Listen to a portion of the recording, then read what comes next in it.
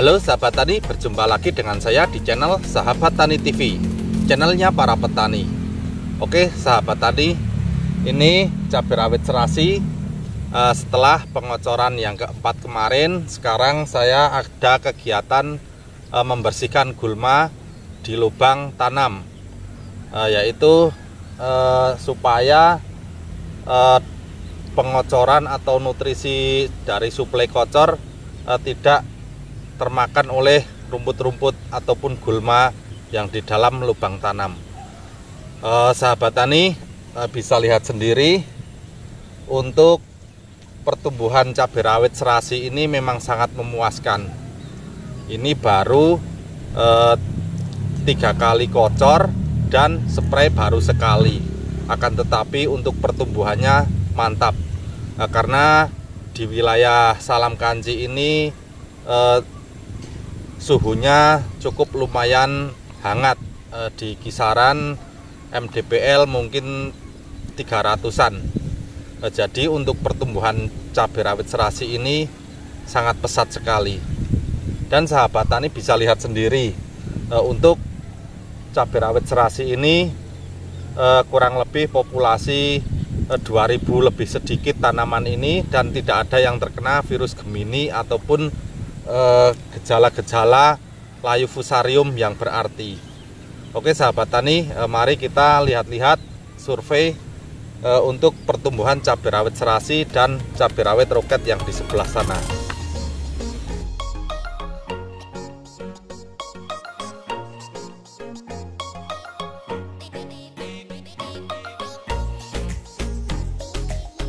Oke sahabat tani, sahabat tani bisa lihat sendiri jarak parit segini.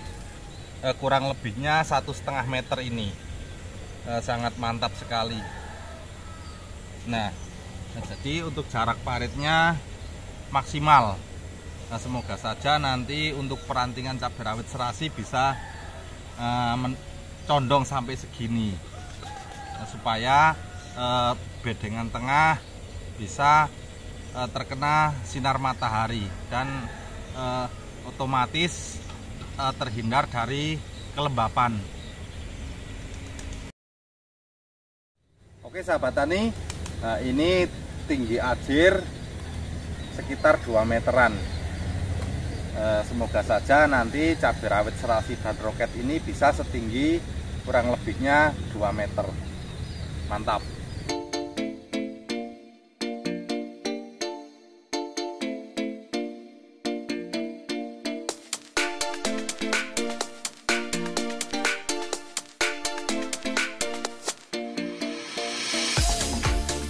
Nah oke okay, sahabat tani. Nah, Sahabat tani bisa lihat sendiri eh, Daunnya seperti ini tebal Dan hijaunya hijau mengkilap. Itu menandakan eh, tanaman cabai rawit serasi ini Sehat Tidak ada eh, serangan bercak daun.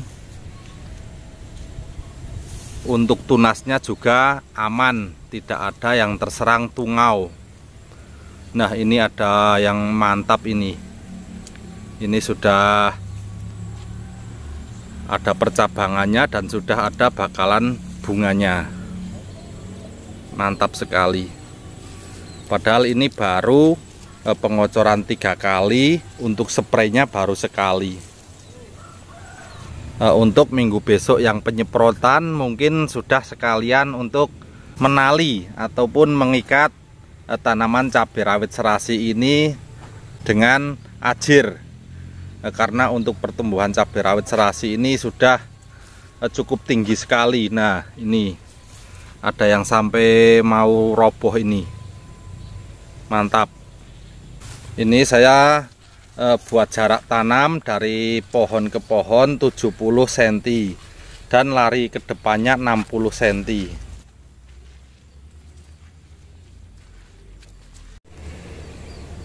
Oke sahabat tani. Nah ini yang sebelah lajur depan itu cabai rawit serasi dan yang sebelah lajur belakang itu cabai rawit roket. E, sampai ke arah sini. Ini roket semua.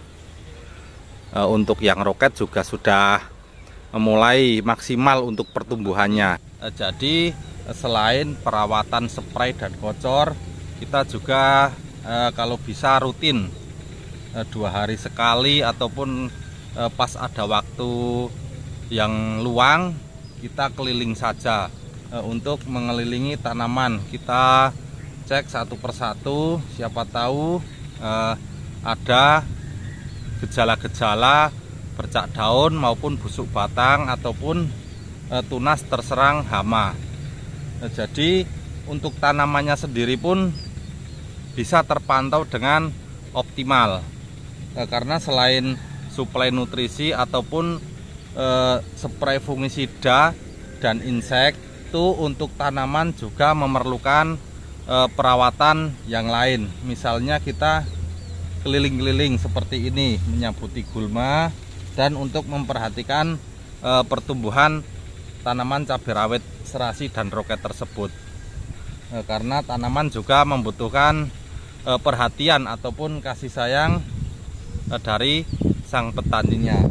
Untuk sahabat tani semua di seluruh Nusantara e, jadi selain perawatan kocor dan spray e, suplai nutrisi maupun fungi dan insek kita juga harus memperhatikan Eh, seluruh tanaman eh, agar kita tahu eh, jika ada hama maupun bercak daun yang menyerang tanaman cabai rawit serasi dan roket supaya tidak terlalu parah ataupun kita tanggulangi sejak dini karena untuk pencegahan itu lebih mudah daripada mengobati Eh, tanaman yang sudah terkena eh, bakteri bercak daun maupun busuk batang. Untuk tanaman cabai rawit serasi ini eh, memang sangat bagus dan aman dari tungau maupun bercak daun.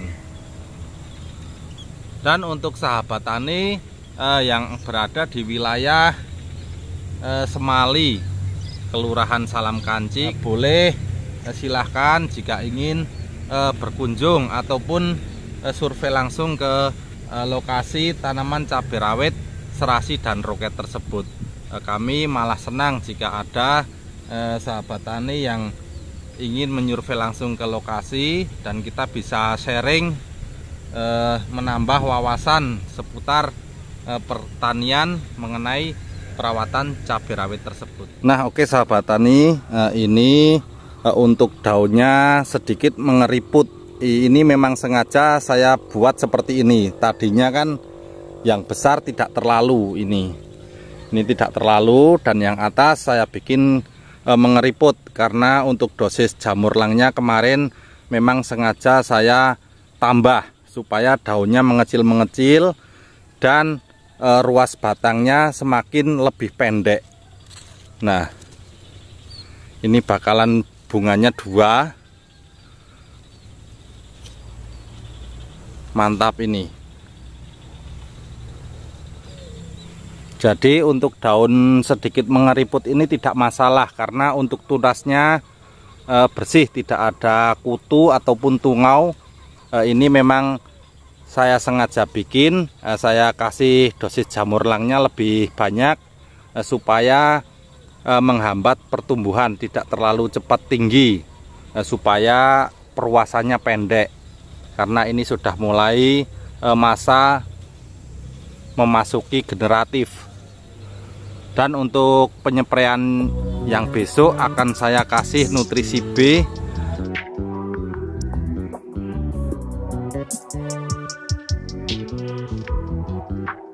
Nah oke okay, sahabat tani. Uh, Ini pangkal batangnya uh, Sudah Sebesar Jari telunjuk saya. Untuk perantingan juga saya pelihara semua Daunnya mulus Hijaunya hijau mengkilat.